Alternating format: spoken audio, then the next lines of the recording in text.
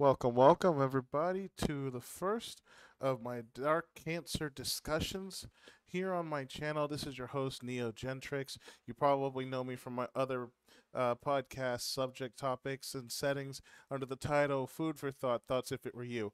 Dark Cancer Productions will be taking over that whole podcast. I will still be your host. Don't worry about it. But the title and the logo may change. So, just a heads up for the future.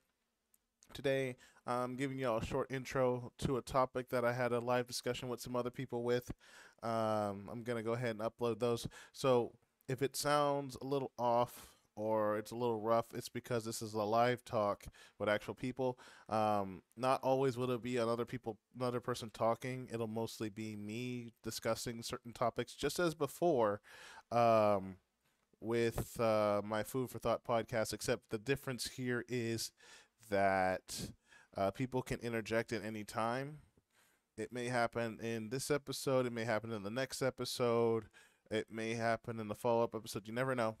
Um, they these won't be as often. Actually, these may be more often than my regular podcast, as I have to actually sit down, re- research the topic I have to talk about, and then talk about it. So you might get more of these episodes than the others. So look forward to that in the future, and let's get started. Okay.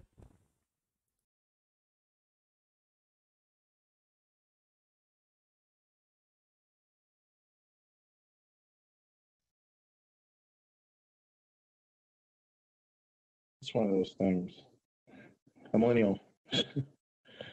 People who consider themselves to be what, well, whatever society says is a good thing. I found that it doesn't really matter when you were born or how you do whatever it is you do, but it turns out it does matter. The definition of a millennial nowadays. Anyone before uh, what's it, 21 or older? But then we're always blamed for everything. So let me let, let me ask you this: I understand Gen Z is one thing, and they're always doing whatever the heck they want to do. But then at the end of the day, the question is: Are we still being identified as what we are, or are we just trying to be what everyone else is? I can look it up. It's it's it's it's not. Mm, like, let me see we're known as Gen Y, the demographic cohorts of Gen X, and preceded by Gen Z. It, it's nothing, nothing, nothing fancy, uh, apparently. We're supposed to be inept. We're supposed to be the smarter ones, I guess. Researchers, popular media, used in the early 1980s, starting birth years. Uh, what is the millennial? Uh, I'm one of them, to be fair. Uh, born mid 1990s to early 2000s. That's not really even clearly defined now that I think about it. Like, that could be anybody from 1995 and up, but that's wrong. I mean, anybody could be a millennial as long as they're born between the years of 1981 and 1996, I do believe. I was born in 93. I'm part of that generation, but then people look at me, they're like, oh, you're part of Gen Z because you were born in the latter half of the of 1990s. No, no, no, no. Uh, my parents were a part of Generation Alpha, born in in the in the early 60s. But they, I, I guess, young people have like, what's the word I'm looking for here? If you're a millennial, chances are you've done a lot of different things that have been classified within our category. Everyone's different, but but the general census, like anyone from the generation before us to clarify they are part of a generation where if you made it with somebody you stayed with them for i guess a while after about six or eight months you would probably consider marriage no if you're a millennial you've been you postponed marriage i don't know three four five six seven times you'll stay with the same person for maybe one two three years at the most it, and you know it, it's one of those things where it just kind of makes you wonder like who's the worst generation? Is it really us? Like we've been labeled as the worst generation that came after Gen Z. No, Gen X. We're not. We're actually the better generation. The worst generation would probably be Gen Alpha, but that's only because they get to grow up with what? Uh, I want to say they grew up with everything in front of them. Millennials are we've been said that we grew up with a silver spoon in our mouth. We've had everything given to us. We've had uh, we, we we had access to the internet. We've had access to all these resources. But in reality, when we were born, the internet was start, still starting up. The main operating system of choice was Windows XP. I'm pretty sure everybody remembers that. You know, computers are starting to just now become accessible. I, am pretty sure if I can ask anybody, do you remember gateway computers, the little thing that looked like a cow uh, in the shape of a cube on your computer, or Compaq computers, the one that looks like a red Q? Or how about uh, computer monitors that are square? that look like CRT TVs, those old things you see in arcades. You're a millennial. I'm sorry you are very rare, very, very rare will you find anybody from Gen Z born in 1997 that knows what that is. Most of them will, but it's like, I want to say maybe 15% because there weren't as many children born between 1997 and 2000. I would like to think there was, but there really wasn't. Like a lot of kids weren't really born until after 2000 in that weird category. And I want to say that during the time we were born, there was like a decline in the fertility rates around the world. So people were having fewer and fewer children, and their children were having fewer and fewer predecessors because they just weren't mating. Millennials just don't like mate. Like we have had, I think, the hardest time finding partners but when we do, it's not like early in our years. It's not like in our twenties or whatever. We we're not finding partners until we're almost thirty or forty now. Like it's it's been extended. I don't like even me. I'm 28. Believe that or not, and I still am not married. I've had a lot of different relationships. In my opinion, it's been rough. Like because we're spoiled now. I can't say we are as millennials, but I, I can say the world is spoiled between Gen Z, Gen Alpha, and the ones that come after them. God knows what comes after Gen Alpha, but I mean, we we we as a group, everyone between 1981 1996, my brothers included, they were barely born into the millennial decade because they they they not decade uh let's say this this what 15 years um they were born in 95. So they barely fit into that category. But most of us, we can consider ourselves, I guess you could say, the last of the storybook generation. Uh, let's see. Oh, hello. So, I mean, there, it's different. It just depends. What's up, Michael? Hey, Joshua. How are you? I'm uh, I'm, I'm doing good. It's what one one twenty in the morning. um, AM, whereabouts are you based? I'm what? As where currently are you within the world? You argue? Yeah, where are you within the world? Where are you? Where are you chiming in from? Where am I chiming from? Yes.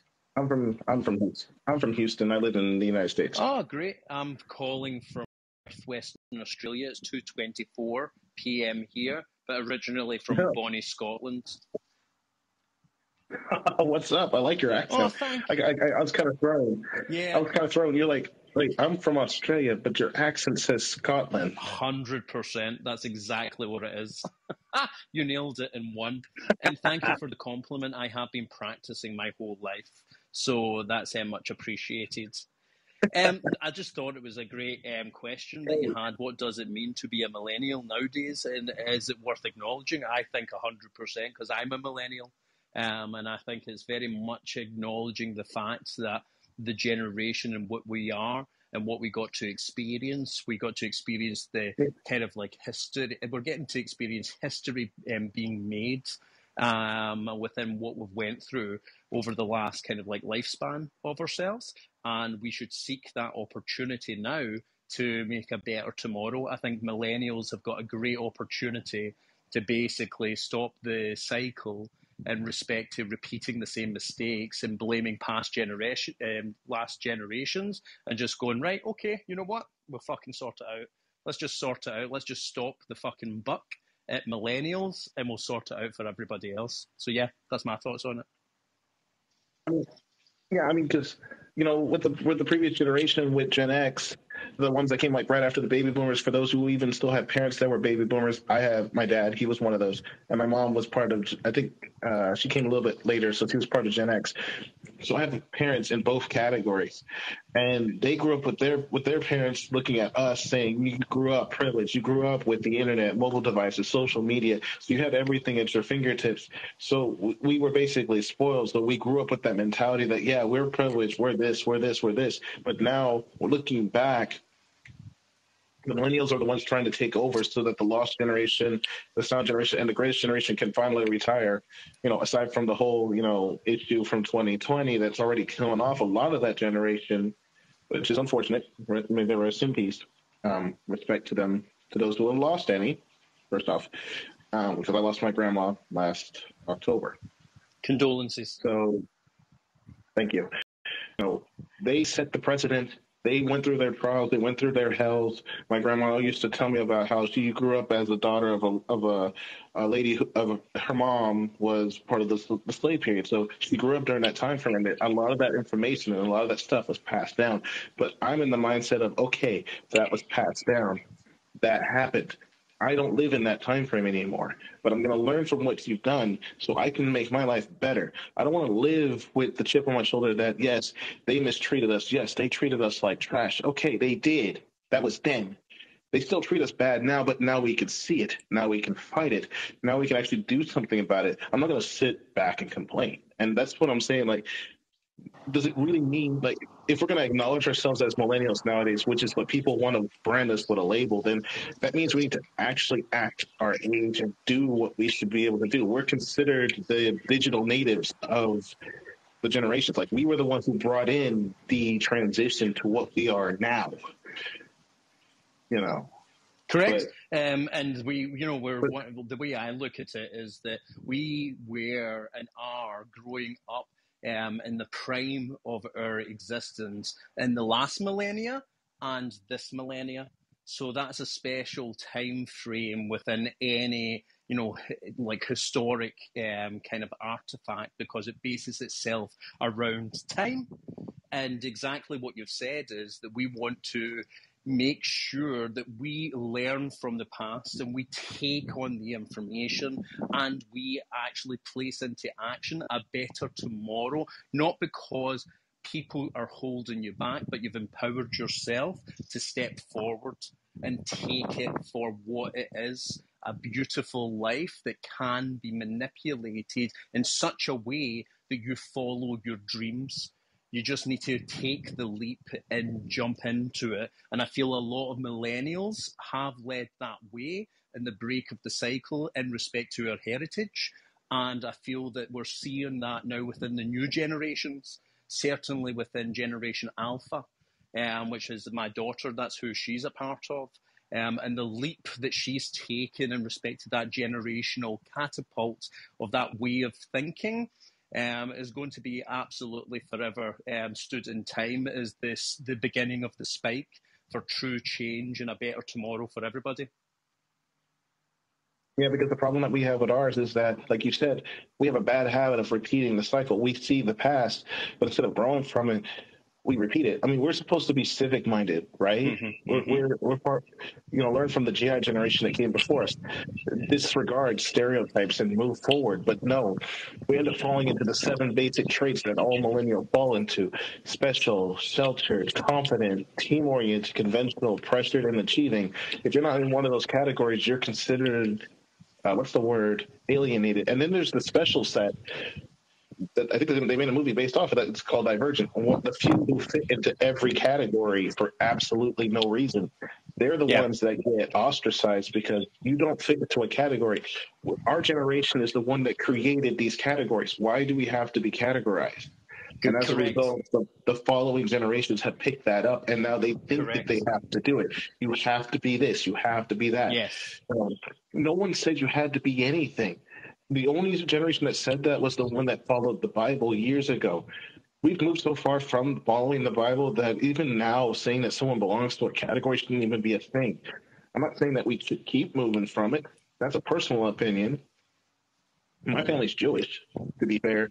You know, I live by the Bible standard, but I'm not going to push that on other people. I'm not going to make them do it. I'm not going to say, "Hey, uh, you said that you're no longer male. You're supposed to be a female, so and God's going to damn you." I'm not going to say that. Why? Because one, society says that if you say that, you're going to get in trouble, and millennials don't like trouble. We, most of us try to stay out of trouble.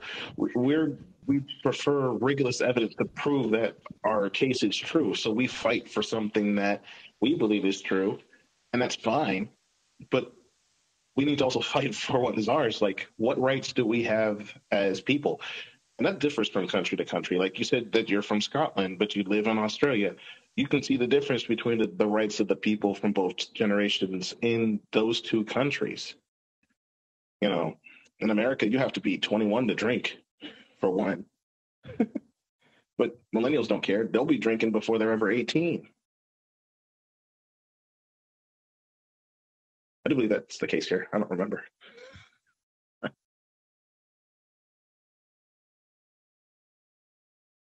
so, but everybody's got their thing. You know, we grew up in the 21st century. We started everything out. It's just, you know, we're supposed to have the higher IQ.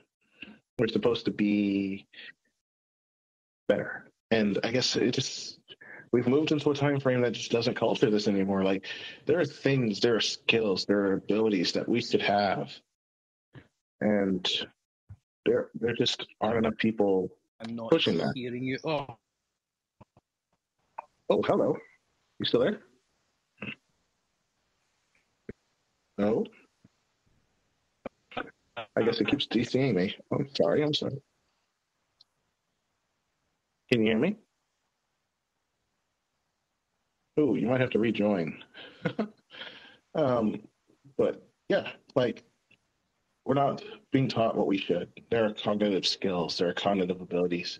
Like, let me ask this question. Like I said, like in my, in my questions, like, what does I it mean to be a millennial nowadays? Like, I think Huh? what what you've actually highlighted. Well, listen. I think what you. I think what you've. I think what you.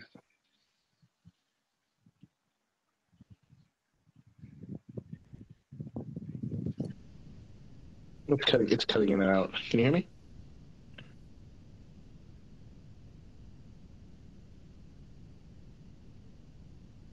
Oh, okay. I'll wait till he comes back. Um, from left to right.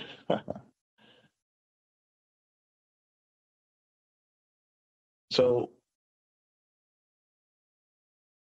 since the 2000s, how have we progressed? That's the question here, I guess. Millennial, I, I want to say, since 2000s, the millennials have basically taken advantage of the possibility of selecting more than one racial group in abundance and being part of them no matter what. Like, no one's stuck to any one category anymore. Everyone's part of something.